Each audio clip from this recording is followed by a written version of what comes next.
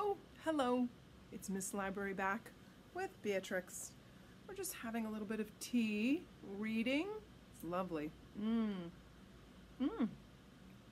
Can you smell my tea? See it? It's peppermint. It's lovely. Just put a little honey in it. It tastes so good. I wonder if you drink tea. What, Beatrix? Oh, okay. He's telling me, put the tea away, Miss Library. It's story time. All right, I'm going to put my tea right back here. How is everybody today?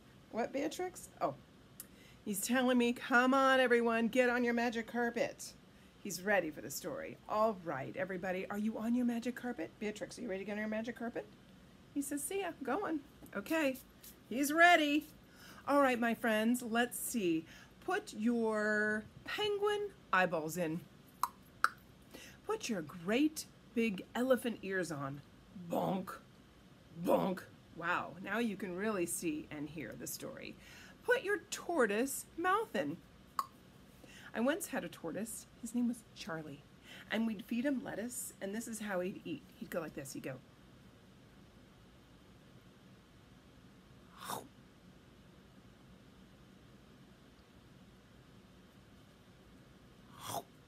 He was slow. I wonder if you can eat like a tortoise. How about for now, we zip it up, put your seatbelts on, click, up. We forgot somebody. Oh, he's gonna be mad at me. I'm so sorry. Berto! I'm so sorry, Berto. Come on out, Berto. Miss Library! How could you forget me? I'm sorry, I'm sorry, I'm sorry. Okay. Hello, everybody. You know I am Berto, the bookworm. I think you are ready for the story. But first, you know what I love, right? I love to read.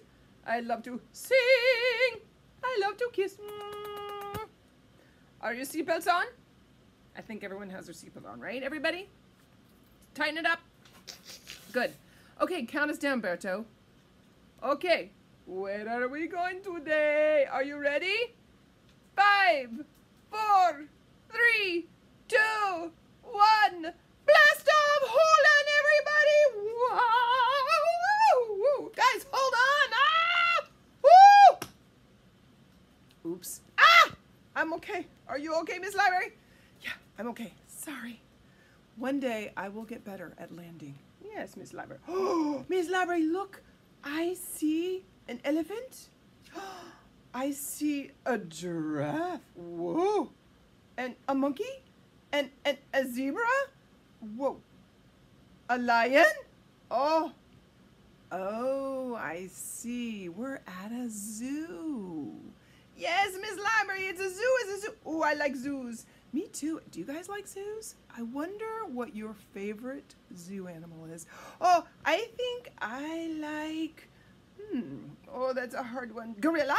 Yes, yes, yes. Maybe a penguin?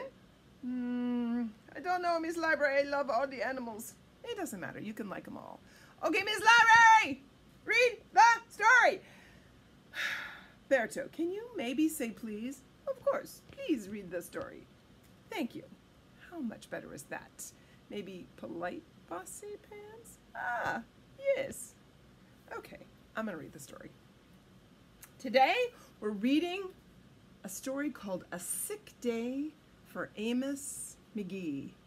And it's written by Will, uh, excuse me, Philip C. Stead and illustrated by Erin E. Stead. I, what is that? Or an elephant. And what else do you see right there? A penguin? Yeah, it looks like they're playing cards. I I didn't know that elephants and penguins played cards. Here's Amos. Amos McGee was an early riser. Every morning when the alarm clock clanged, ding, ding, ding, ding, ding, ding, ding, he swung his legs, there's his bed, out of bed and swapped his pajamas for a fresh pressed uniform. Look at his slippers. Beatrix likes them. he also has a teddy bear. He would wind his watch and set a pot of water to boil, saying to the sugar bowl, a spoonful for my oatmeal, please, and two for my teacup. Oh, he has a teacup just like mine. Belly full and ready for the workday, he'd amble out the door. Look at the look at the mouse and the bird. You see that? Every day, Amos waited for the number five bus. Five. You see the number five right there? Next stop, City Zoo, the bus driver would call. Ah, 6 a.m., right on time, he'd reply. See, he's waiting at the bus stop. Guys, look who's on the bus. Oh my gosh. How in the world did Beatrix get in another story? Uh, at least, and he's reading, he's reading a story. I see a balloon too. Huh. Amos had a lot to do at the zoo, but he always made time to visit his good friends. I wonder if you can spot the monkey. Do you see the monkey? Do you see a giraffe?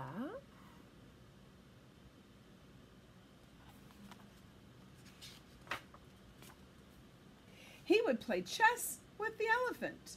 I, I didn't know elephants played chess. And the elephant, he would think and think and he thought and he thought and he thought before making a move. He would run races with the tortoise, who never ever lost. The bird and the mice are cheering the tortoise on.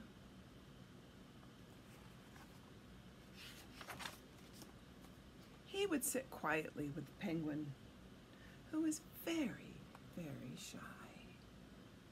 Look, the penguin's wearing socks. Look at all the penguins behind. I like this one. He's reading he's reading a book. He's reading aloud. He would lend a handkerchief to the rhinoceros, who always had a runny nose. What color scarf is the rhinoceros wearing? Yes, red. At sunset, he would read stories to the owl, who was afraid of the dark. Look at the bird, likes the story too. See the bird sitting down? That really is kind. One day, Amos awoke with the sniffles. Do you know what the sniffles are? When your nose is all stuffed up and your sniffling is running, and the sneezes, achoo, and chills. Oh, he swung his achy legs out of bed, curled them back again, and said, Ugh, I don't think I'll be going to work today. He's got his teddy bear, and his, there are slippers.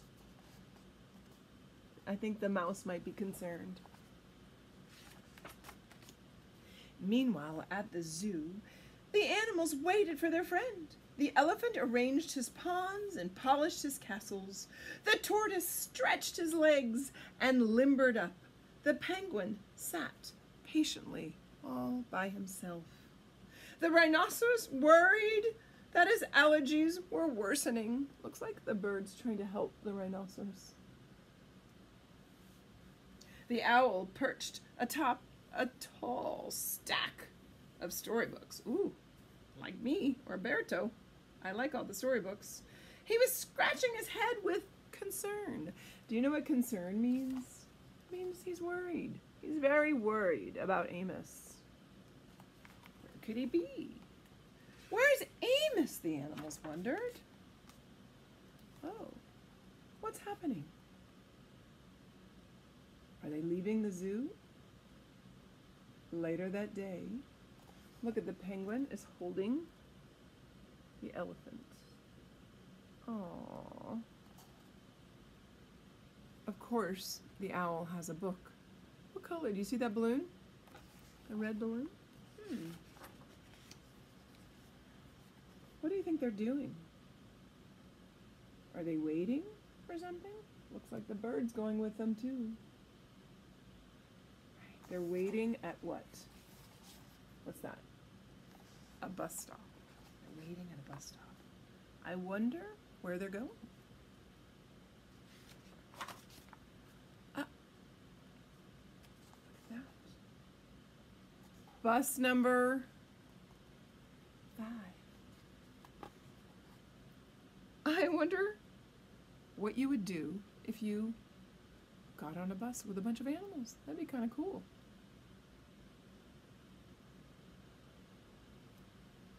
The bird's going to, he's going to ride on top. Hooray! My good friends are here. Oh, he really does look happy, doesn't he? How kind of them. How very kind. The elephant prepared a game of chess. Amos thought and thought before making a move. I'm too tired to run races today, said Amos to the tortoise. Let's play hide and seek instead. The tortoise hid inside his shell. Where's Amos hiding? Yes, Amos hid beneath the covers. Amos yawned. I could use a nap. The penguin sat quietly, keeping Amos's feet warm. Achoo! Ah, Amos awoke with a sneeze. The rhinoceros was ready with a handkerchief.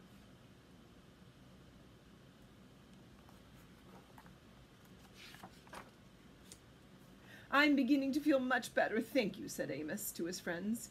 He swung his legs out of bed. Perhaps we'll share a pot of tea. Oh, that sounds lovely. Look at the tortoises bringing the tea to everybody.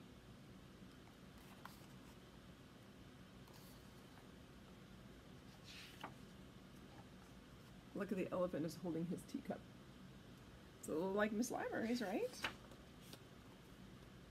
Amos wound his alarm clock. It's getting late, he said. After all, we have a morning bus to catch. So Amos said goodnight to the, what's that? Elephant. He said goodnight to the tortoise. He said goodnight to the penguin. He said goodnight to the rhinoceros. And goodnight to the owl, who, knowing that Amos was afraid of the dark, read a story aloud before turning out the light.